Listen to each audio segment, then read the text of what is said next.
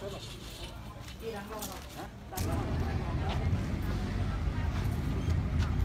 ิงรถสัมภาอย่างเดียวครับ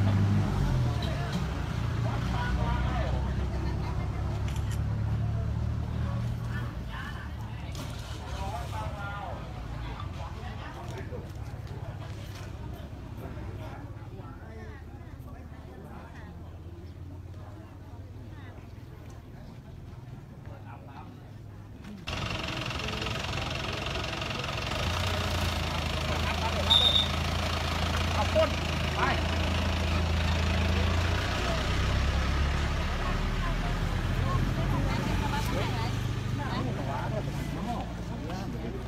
อย่ามาชื่อแหมสิ่งนี้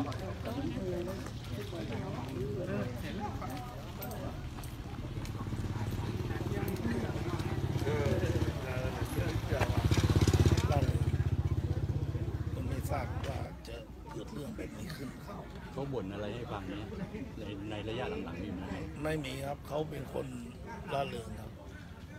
แล้วก็ช่วยงานชาวบ้านแล้วก็ท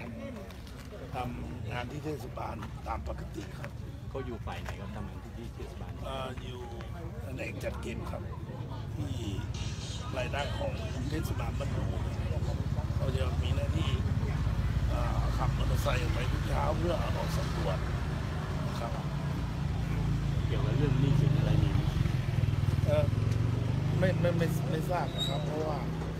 เจอทุกครั้งก็คุยกันธรรมดานะครับ เพราะว่าเขาก็เป็นพนักงานที่นี่มานานแล้ว ก็ทำมาหลายปีแล้วใช่ไหมครับทำมาสิบกว่าปีครับแต่ระยะหลังๆนี่นายกก็ไม่ได้ก็เจออยู่ตามก็ที่เจใส่อใจก็เจอกันอยู่ครับตลอดครับก็ถามนายกว่านายกเชื่อไหมว่าเขายิงตัวตายผมก็ตกใจเหมือนกันไม่ไม่ทราบว่าจะเกิดเรื่องแบบนี้ ไม่น่าจะเป็นไปได้ครับเพราะว่าไม่มีอะไรกดดันให้เขาต้องทำน่าจะมีเรื่องหรือว่ามีคนมาฆ่าหรืออะไรครับ